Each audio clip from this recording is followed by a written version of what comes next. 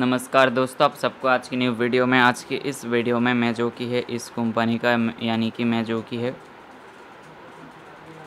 तो यहाँ पे अगर देखा जाए, ये जो देख सकते हो मजागोंड कंपनी का अगर डेली चार्ट पे देखा जाए तो स्टॉक पे लो आर लो चार्ट यहाँ से बन रहा था। अभी अगर देखा जाए तो काफ़ी हाई पे है।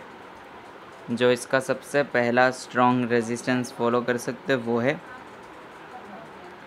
तो यहाँ पे गई ये जो है four thousand five hundred, forty five point thirty जो इसका अगला स्ट्रॉन्ग रेजिस्टेंस सपोर्ट अगर इसका देखा जाए तो काफ़ी स्ट्रॉन्ग पहला सपोर्ट जो देखने को मिल रहा है वो है four thousand two hundred, eighty two point twenty पे है। अब इसका पहला स्ट्रॉन्ग सपोर्ट का ब्रेकडाउन आता है आप लोग इसका।